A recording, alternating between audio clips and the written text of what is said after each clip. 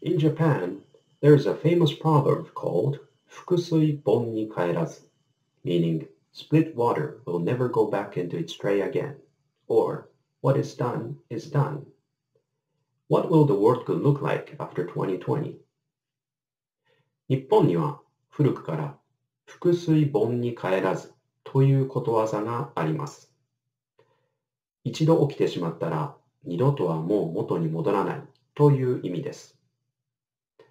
2020年を境に人々の暮らしはどうなっていくのでしょうか？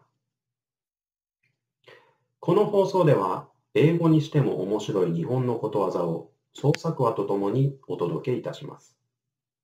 第3回目の今日は骨を折る、精を出して取り組むこと、頑張る様子を表します。From this video, you will learn some Japanese proverbs Perhaps it could sound humorous by translating just as it is. So the proverb today is 骨を折る literally translated to breaking the bone. Just thinking about it makes us shudder, but that's not the fact. Let's see the example. 骨を折る breaking the bone 春尾くんは中学生でもうすぐ卒業でした。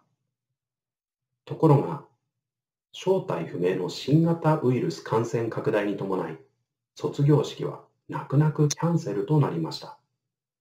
そして職員の協議の結果、リモート卒業式を行うことが決まりました。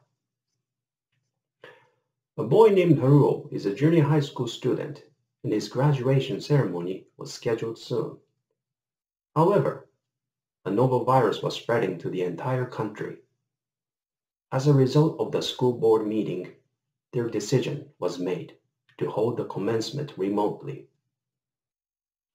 会場の準備や機材の設置に先生方は骨を折りました。Teachers and staffs worked hard setting up the venue, as if their bones almost broken.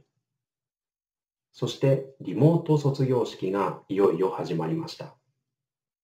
会場には校長先生の声のみ響きます。式は粛々と行われました。The ceremony started solemnly.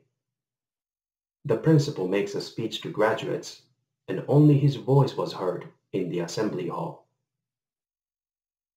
ところが、あろうことか、カメラの電源が入っていなかったのです。卒業式は中継されず、一生懸命準備をした先生方の努力は Hone horizon to narimashita. Later, it became clear that the device had not been turned on.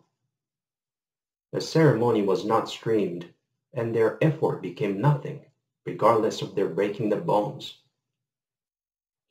So, hone o oru literally means breaking the bone, namely, to make an effort to do something. And when the effort comes out to be nothing, then that is hone orizon. Can you believe that in Japan, people address someone, thanks for breaking your bone, to show one's gratitude to the other? Okay, so that's it for today. So long.